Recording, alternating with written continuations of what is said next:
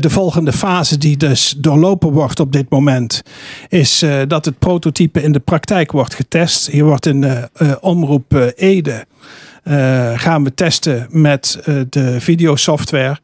En, uh, maar het is natuurlijk belangrijk dat het hele traject voor eh, ICT Valley en ICT Campus naar een start-up, dat dat ook bekendgemaakt wordt en dat mensen daar voorbeelden van trekken. Hoe gaan jullie daarmee om, Gerrit, met de marketing van ICT Valley bijvoorbeeld? Ja, um, nou ja, het, is niet zo dat we onmiddellijk een project loslaten op het moment dat, dat het is gerealiseerd. Ja? Uh, proberen vanuit de ICT Campus ook uh, starters te begeleiden. Hè? Dus, dus uh, jullie zaten in een projectfase ja. uh, met studenten. Je, je, gaat nu eigenlijk proberen de applicatie of de toepassing te verkopen. Ja. als ICT Campus hebben we een startersloket waarbij we startende bedrijven ondersteunen of projecten ondersteunen. Mm -hmm. en dat kan middels coaching. Dus we hebben ervaren ondernemers die we kunnen toevoegen aan een, aan een bedrijf om het te begeleiden. dat kan ook met training. Dus we kunnen ondernemers die op bepaalde vaardigheden nodig hebben om bijvoorbeeld software in de markt te zetten, er zijn heel veel methodes voor. Uh, om die te, ja, te kijken welke methode het beste past bij het product wat je hebt ontwikkeld. Uh, en eventueel kunnen we ook begeleiden in de fundingstrajecten.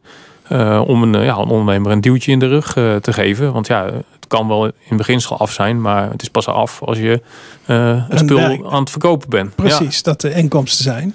Um, G, jij bent eh, hier ook bestuur, eh, bestuurslid bij Omroep Ede. Klopt. En uh, het wordt direct ingezet bij uh, Omroep Ede. En als dat succesvol is, wat betekent dat dan voor zeg maar software voor de andere omroepen? Ga je daar iets mee doen? Nou, dan gaan we zeker gaan we daar iets mee doen. Ik denk ook dat we dat dan gaan bekendmaken bij de, bij de overige omroepen waar wij op dit moment mee samenwerken. En, uh, en daar zullen we ook zeker uh, dan de software en het product zullen we aanbieden. Uh, los daarvan Daarnaast hebben we ook nog zeg maar een eigen site voor het product. en daarnaast is het ook nog eens een keer zo dat alle initiatiefnemers hebben natuurlijk ook een omvangrijk netwerk. en die zullen ook hun netwerk aanspreken op het, op het vermarkten van dit product. Dus ik denk dat er tal van kansen zijn om dit product goed en breed in de markt te zetten. Ik denk ook dat we dan ook samen met zeg maar, dat startersloket van ICT Verdi nog eens een keer aan tafel moeten schuiven om te kijken hoe dat we elkaar kunnen aanvullen. Ik denk dat dat een heel goed idee is. Ik denk dat we daar uh, zeker elkaar kunnen aanvullen, complementair kunnen zijn. Dus ik, en ik verwacht daar ook, ook, ook, ook grote mogelijkheden.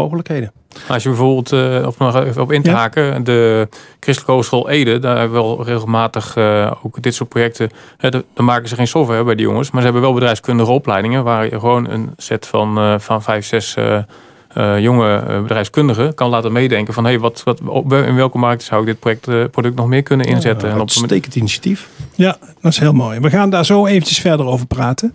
Maar we gaan eerst even luisteren naar Pink met Try. Kijk ook eens op www.businessclubradio.nl